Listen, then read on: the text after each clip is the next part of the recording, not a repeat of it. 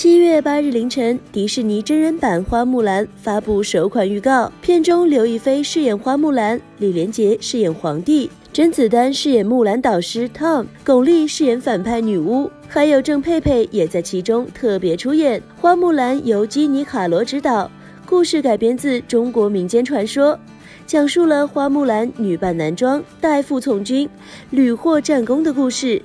这也是真人电影首个华人迪士尼公主。据悉，影片将于明年三月在全球献映。非凡娱乐实时报道。